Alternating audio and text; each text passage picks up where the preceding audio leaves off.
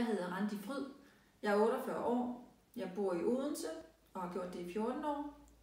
Kommer fra København og boede i København og Nordsjælland i Norræk. Jeg er til daglig akupunktør og massør, som jeg arbejder med som selvstændig og har gjort det også i mange år. Så er jeg ved siden af sikkerhedsvagt, står i døren nogle steder og er med til nogle eventer og til koncerter og sådan lidt forskelligt på freelance basis, så jeg bestemmer faktisk selv fuldstændig, hvornår jeg vil arbejde og hvornår jeg vil have fri. Og det synes jeg er dejligt, jeg kan godt lide den frihed. Og øh, ja, hvad kan jeg ellers fortælle om mig selv? Jeg har en hund, som jeg også har gået vagt med. Jeg er rigtig glad for hende. Jeg har to sønner, som er voksne, 20 og 22 år, der ikke bor hjemme. Og øh, så er du velkommen til at kontakte mig, hvis det var, at jeg er lige den, du søger. Kan du have det godt?